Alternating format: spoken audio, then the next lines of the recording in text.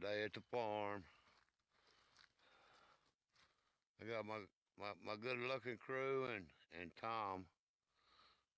They gone to get the batteries. We forgot to get unloaded out of the truck. Yep.